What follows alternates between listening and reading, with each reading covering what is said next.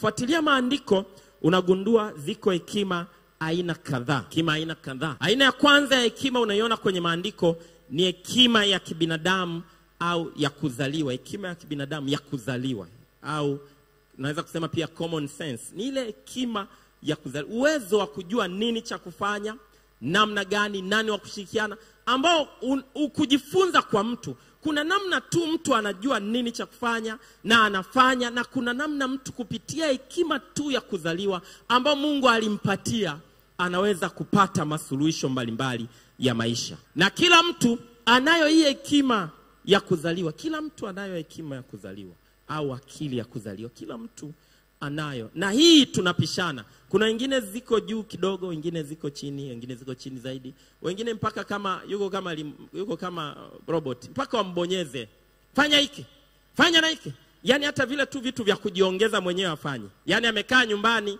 aja labda maharage anapikwa pale, anayepika ni mtu mwingine, alafu yule anayepika labda ambaye ndio jukumu lake ametoka maharage anaungua, aende hata hawezi hata kujiongeza kwenda kufungua na kuongeza maji au kuipua kwa sababu anaona sio cha kwake. Ulishakutana na watu hawezi kujiongeza, yaani akiletewa hapo, kama ni mwanaume akiletewa hapo chai au kitu na mke wake na mke hayupo, kitakaa hapo mpaka na mainzi mpaka jioni, eti anaona anashindwa tu kujiongeza kupeleka jikoni au na kuosha, hawezi kujiongeza. Bwana sana. Kwa hiyo ni, ni ile ya kuzaliwa, na hii ipo kabla ya elimu na unajua kuna namna hii elimu, kuna namna imeua hii kitu, kwa sababu kila suluhisho ambayo tunalipata kwa elimu lilikuwepo kabla ya elimu, lilikuwepo kabla ya elimu. Watu walikuwa wanajitibia wanapona kabla ya elimu, watu walikuwa wanaendesha maisha kabla ya elimu, lakini kuna namna uh, silaumu elimu, lakini kuna namna wakati mwingine elimu inatupumbaza. Mtu kabisa anao uwezo huu ndani yake lakini kwa sababu tu alisoma anakuwa anaangalia upande mmoja, aangalii uwezo ambao Mungu alimwekea ndani.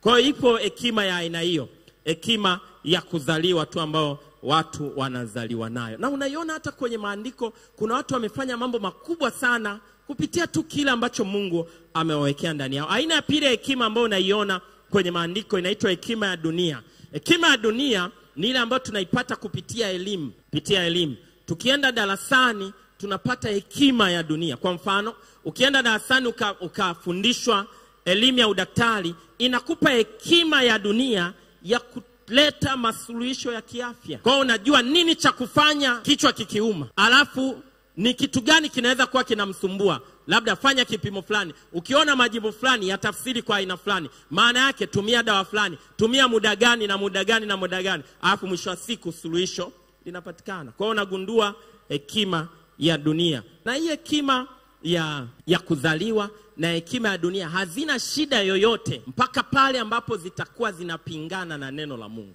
Hapo ndio zinaanza kuleta shida, lakini hazina shida yote ku, kuongeza na kuzitumia. Lakini jambo la tatu, hekima ya tatu naiona, unaweza ukasoma kwenye Esta moja kumi na tatu. Unaona kuna wenye hekima waliokuwa na elimu fulani au walikuwa na hekima kwenye maeneo ya nyakati na muda kupitia elimu waliopewa. Jambo la tatu unaweza kuona hekima, aina ya tatu ya hekima inaitwa hekima ya shetani. Hekima ya shetani hii tunaipata kwa waganga na wachawi, waganga wa kienyeji, wachawi. Kuna namna ya kishetani ya kuleta masuluhisho, kuna namna ya kishetani ya kuleta masuluhisho, na hii unaweza kuiona wakati Musa anatupa fimbo inageuka kuwa nyoka, wachawi nao wakaleta hilo suluhisho, wakatupa fimbo ikageuka kuwa nyoka.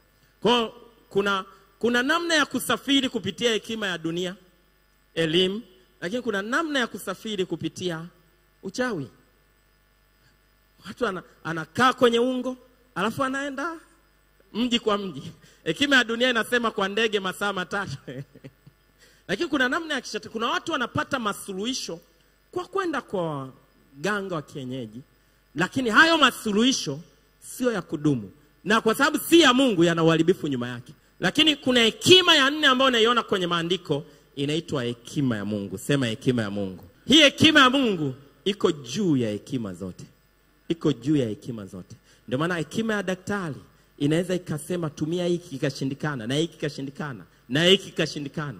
hekima ya daktari inasema hivi hekima ya mungu inaenda inakwambia weka mkono juu ya mgonjwa nao atapata afya mgonjwa akiombewa na kupona hakuna daktari anaweza kuelezea hakuna maelezo. Unaweka mkono uvimbe unaondoka. Unani- unatoa maelezo gani ya kidaktari?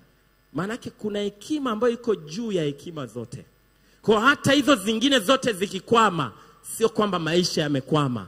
Kuna hekima ya mungu kwa ajili yetu. Yakobo sura ya tatu mstari wa kumi na tano. Anasema hekima hiyo sio ile ishukayo kutoka juu. Maanake kuna hekima ishukayo kutoka juu. Ndio anasema hiyo hekima sio ile ishukayo kutoka juu. Kwa hiyo ya kwanza unaona kuna hekima ishukayo kutoka juu. Alafu anasema bali ya dunia anaonyesha kuna hekima ya dunia. Ya tabia ya kibinadamu ndio hiyo ya kibinadamu nimeisema. Na shetani maana yake kuna hekima ya shetani.